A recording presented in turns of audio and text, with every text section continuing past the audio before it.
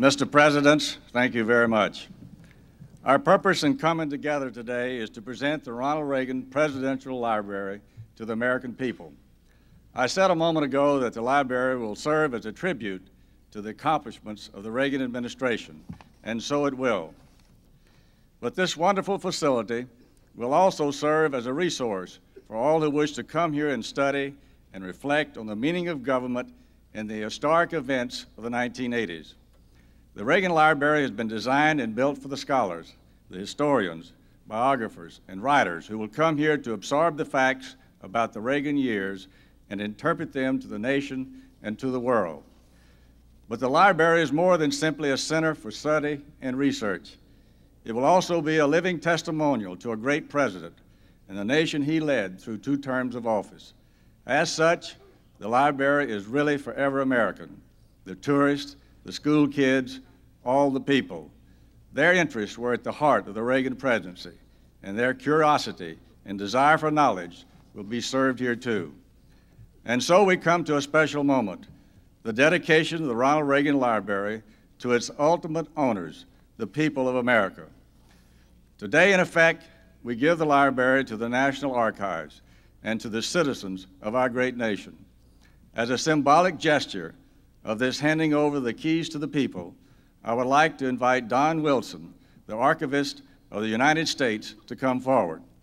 President Reagan, will you also please join me in presenting the key of the library to Dr. Wilson, and through him to all of the American people.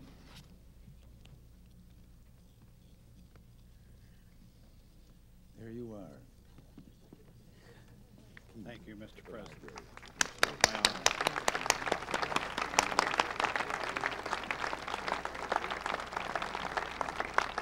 Thank you very much.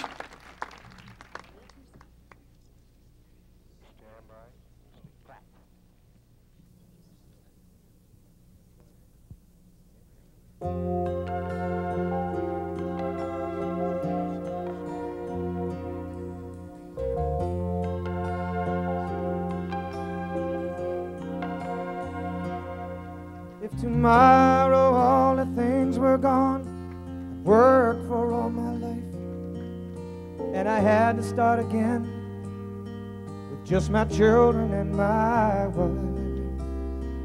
I'd thank my lucky stars to be living here today, because the flag still stands for freedom, and they can't take that away. And I'm proud to be an American where at least I know I'm free.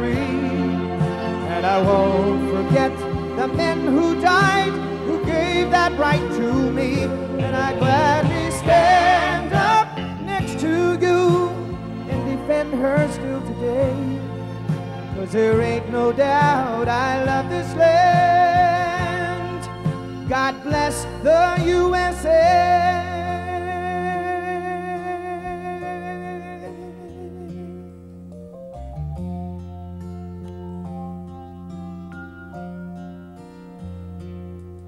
From the lakes of Minnesota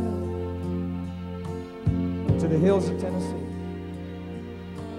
across the plains of Texas, oh, from sea to shining sea, from Detroit down to Houston, and New York to LA, where there's pride in every American heart, and it's time we stand and say that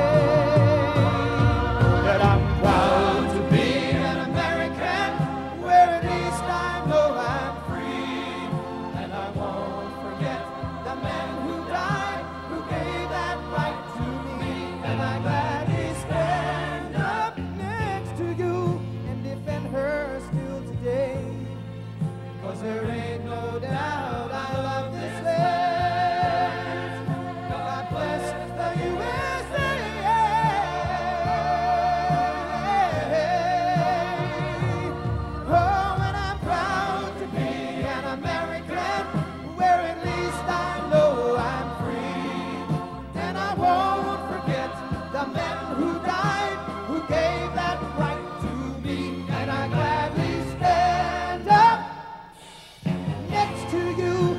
lifting her still today.